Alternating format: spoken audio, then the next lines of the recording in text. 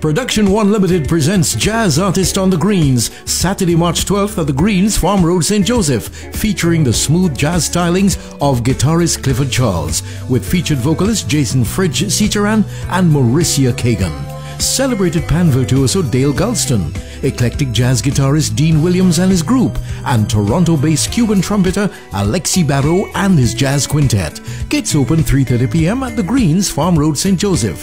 Advance tickets $300, more at the door. See press for details. Jazz Artist on the Greens, Saturday, March 12th. Come for the lime. Discover the music. Visit jaotg.com or call 620-6920 for information.